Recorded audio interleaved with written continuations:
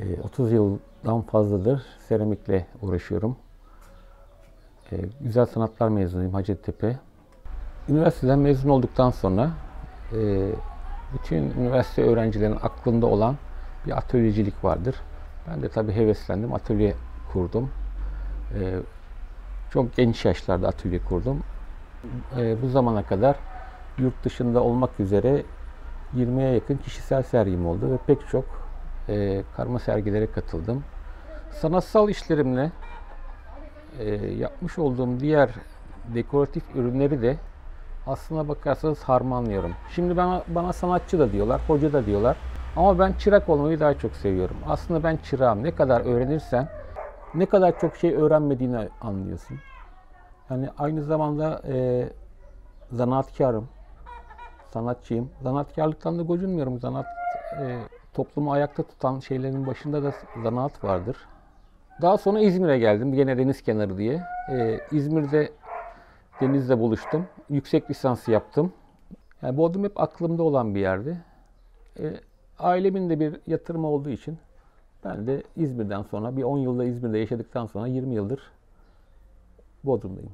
Dabelen'e geldim. İnsanlarla tanıştım. Çok sevecen insanlar. Şimdi köyde benim ne yaptığımı bilmiyorlar. Çamurcu diyorlar. Yani seramik mi yapıyorum? Seramiğin ne olduğunu bilmiyorlar. Seramiği kaça yapıyorsun abi diyorlar. Metrekaresini kaça yapıyorsun? Bizim banyo var onu da yapar mısın? Bu tip şeyler söylüyorlar. Yani benim ne yaptığımı buraya gelmeden, çayı kahvemi içmeden anlamıyorlar. Bodrum'a gelmemin sebeplerinden bir tanesi aslına bakarsanız İstanbulluları tekrar yakalamak, başka bir yerde yakalamaktı. Çünkü İzmir'den bile daha hareketli bir yerdi burası. 20 seneki kitle daha meraklıydı gibi geliyor. Şimdi birazcık daha uzak kalıyorlar. Ee, benim burada bir atölyem vardı. Dibeklan'da dükkanım vardı. Marina'da dükkanım vardı. Yalıkavak'ta dükkanım vardı. Hepsini kapattım. Ee, üniversitede tabii burada e, kurulduktan sonra biraz hareketlenmeye başladı. Genç e, sanatçılar yetişmeye başladı. Onun da faydasının olduğunu sanıyorum Bodrum için. Fransa'ya gitmiştim. Yani pek çok Avrupa ülkesine şeye Kore'ye gittim. İnsanlar çok meraklılar. Bakıyorlar, alıyorlar. Kore'nin köylerine gittim. Köylerinde alıyorlar. Fransa'nın köylerinde alıyorlar. Bu işe meraklı olanlar ya da sanata meraklı olanlar ya da farklı e, tasarımların peşinde koşanlar sadece İstanbul'da ve, ve burada. Başka bir yerde yok. Ama burada buradakiler de işte ne bileyim ben şimdi köydeyim. Geliyor şeye, köye geliyor. Aa ne güzel işte sanki bal alırmış gibi. Değişik bir şey var. Ee,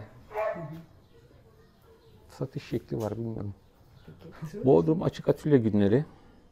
Duyduğumda yani e, mutlu oldum. Bana bir şey sormak için insanlar geliyorlar buraya. Sanatçı arkadaşlarım da geliyor. Yeni başlayanlar da geliyor. Sordukları şeylere, e, sorulara bir cevap vermeye çalışıyorum. Mesela ben raku tekniği kullanıyorum. Geliyorlar, soruyorlar ve ne biliyorsam ben paylaşıyorum. Bu şekilde bunun paylaşılıyor olması bugünlerde e, beni mutlu edecektir. Faydamın da olacağını sanıyorum. Burası çiftlik. Köyde yaşıyorum. Anlaşılıyor seslerden.